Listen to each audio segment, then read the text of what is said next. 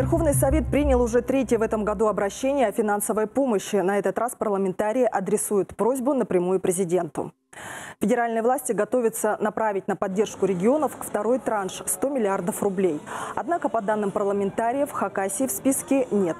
Между тем, республика не раз ставила вопрос о своем сложном финансовом положении, которое длится уже не первый год. Весной после второго обращения за помощью Москва из необходимых 10,5 миллиардов рублей выделила лишь 2 миллиарда. Законодатели считают необходимым еще раз обратиться с этим вопросом. Аргументация соответствующая у нас есть, она доработана. Более того, а, счетная палата Российской Федерации несколько раз как бы делала некую ревизию здесь и соглашалась с нашими аргументами. Мы от цифр не отклоняемся, мы называли предыдущую цифру 10,5 миллиардов, 2,2 получали, поэтому мы говорим, уважаемый президент, в силу тех обстоятельств, что у нас крайне сложная обстановка, просим предусмотреть выделение, а, соответственно, 8,3 миллиарда рублей. А, какое решение примет после этого обращения а, президент и, соответственно, правительство Российской Федерации, время покажет. Но я думаю, что если мы будем молчать, мы не получим вообще ничего. Также Верховный Совет поддержал обращение в Госдуму. Его авторы Владимир Штыгашев, Юрий Шпигальских и Олег Иванов. Депутаты просят вернуть прежний порядок распределения налога на прибыль, когда региону оставалось не 17, а 18 процентов данного платежа. Так было до 2017 года, потом федеральный центр стал забирать себе на 1 процент больше, а срок установил до 2024 года. Верховный Совет Хакасии просит Госдуму учесть сложное положение регионов и вернуть прежнюю ставку уже со следующего года. По оценкам профильного комитета, благодаря этому бюджет республики дополнительно получит около полумиллиарда рублей. Как раз на пополнение казны направлены изменения республиканского закона об инвестиционной политике. Общественности он более известен как закон о РИПах – региональных инвестпроектах. РИПы вызывают повышенное внимание в связи с тем, что им предоставляются существенные налоговые преференции. С самого начала парламентарии настаивали на том, чтобы этой нормой не воспользовались существующие компании, в частности те, кто занимается добычей угля.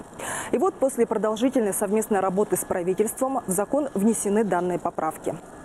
С учетом того, что, конечно, вот цены на сегодняшний день они упали, но тем не менее вот э, это в принципе отрасль, э, как сказать, э, высокоприбыльная и в данном случае тем более истощаются ресурсы невосполнимой республики Хакасия. И в данном случае я думаю, что э, вот, э, приняты справедливые поправки, исключающие угледобычу. Повестка заключительной перед каникулами сессии включала более 30 вопросов. И далее расскажем, какие еще важные решения были на ней приняты. Предпринимателям окажут поддержку в условиях пандемии коронавируса. По инициативе депутатов Василия Шулбаева и Андрея Филягина впервые разработан закон, по которому бизнес, арендующий государственную собственность с преимущественным правом на ее дальнейший выкуп, получат рассрочку при внесении платежей. Законодатели опирались на федеральную норму, позволяющую давать такие послабления малому и среднему бизнесу. Федеральный закон предоставляет субъекту самостоятельно установить срок рассрочки недвижимого имущества, но этот срок должен быть не менее пяти лет. В настоящее время в республике такого закона нет.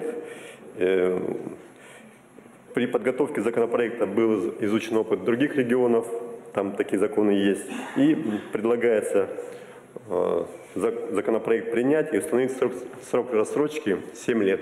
Впрочем, депутаты решили более внимательно изучить бюджетный эффект от такого нововведения – и пока приняли законопроект в первом чтении с тем, чтобы доработать к осенней сессии.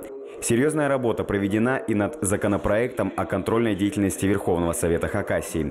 Его инициирует Комитет по конституционному законодательству для того, чтобы в одном документе объединить все контрольные полномочия законодателей. В частности, депутаты получат право заслушивать информацию о работе не только региональных чиновников, но и представителей федеральных структур в Хакасии. Однако, по мнению самих законодателей, столь важный законопроект нуждается в дополнительной доработке. Правильно разумный подход. Принимаем в первом чтении и серьезно работаем по ним. Поэтому предлагается принять в первом чтении с принятием постановления. Там сроки и все до, остальное. До 5 сентября, да? До 5 сентября поправки, замечания. На сессии приняли и ряд социальных решений. Еще больше семей смогут претендовать на статус многодетных – так как теперь учитываются не только родные и приемные дети, но и пасынки и падчерицы. Увеличится и количество получателей компенсации при оплате услуг ЖКХ среди сельских педагогов. Внесены соответствующие изменения в республиканский закон.